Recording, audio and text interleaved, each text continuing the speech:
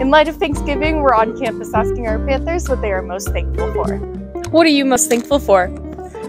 I'm thankful for so many things, but mainly um, Taylor Swift. I'm thankful to work at the University of Northern Iowa. Go Cats. So I'm thankful for the Study Abroad Center giving me an opportunity to go abroad. Her dropping 1989, Taylor's version. I'm thankful for my sisters at Gamma Phi Beta. My G Phi sisters, who are my sorority sisters, and I love them. My organic chemistry test being over. Her relationship with Travis Kelce. My wife and my kids. Friends and family. My family. I'm really thankful for my family. I'm thankful for my family, my friends, and my girlfriend. I'm thankful for my family. Travis Kelce. I am personally thankful for coffee because I'm a barista and coffee's my life. I'm thankful for my family, friends, and just life. Pecan pie. Um, and then just the joy that the Green Bay Packers give me.